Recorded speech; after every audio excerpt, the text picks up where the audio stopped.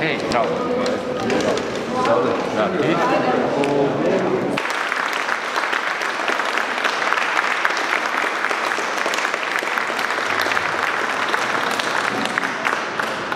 Idemo, ajde, idemo onda po redu. Kant autor.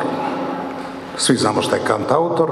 Kant autor. E, sad si autor Kant, recimo tako. Možda još nisi Kant, ali si autor.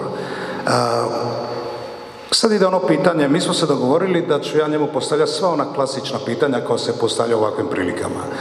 Odakle poriv da pišeš? Dakle, to je banalno pitanje, ali e, ne bih htio da bude banalno jer zaista se radi o autoru koji nije samo muzički obilježio naša odrastanja, nego dakle i tekstom.